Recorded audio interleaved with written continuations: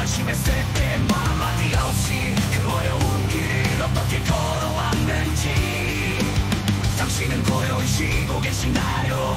내가 걷는 이 길 당신의 자취가 남았어.